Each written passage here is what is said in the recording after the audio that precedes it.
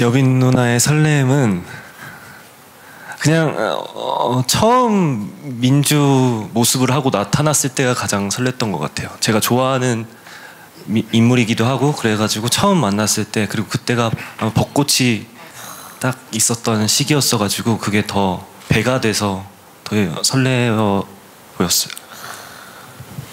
그 정말 흔들리는 꽃들 속에서 우리 여빈 씨의 그 모습이 쫙 느껴지네요. 네 맞습니다. 자 그렇다면 강훈 씨의 설렘 moment 효섭 씨가 좀 아, 네.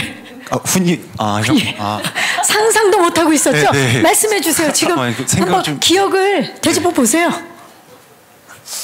같이 농구도 하고 뭐 많이 했지 않습니까? 아, 네. 예. 그, 네. 설렘 moment.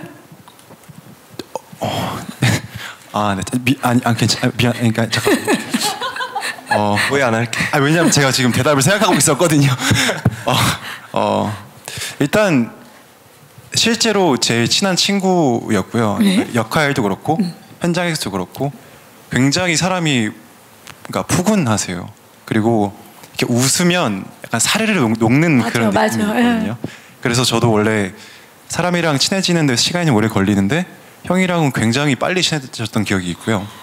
그리고 실제로 뭐 몸으로 부딪히는 씬도 많고 항상 거의 함께 나오기 때문에 형이랑 찍었던 씬들은 다, 설렘 모먼트. 다 그냥 행복했어요. 네. 특히나 강훈 씨가 웃을 때 설렘 주겠네요. 아, 네. 네. 좋습니다.